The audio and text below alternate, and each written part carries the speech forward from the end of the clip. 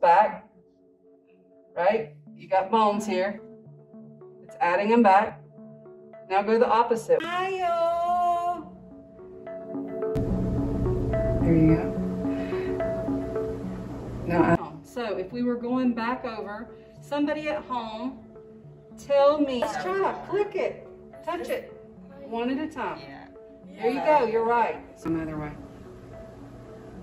So it adds stuff, and the slower you go, this the it'll take stuff away. And I said it was a very small part. Do y'all remember what part of the brain I said? So we're gonna go um, to the table. So you guys, let's watch. Um, That, please. yeah, make it a little bit bigger. There you go. Now add them back. All right, now click our um, click that eyeball.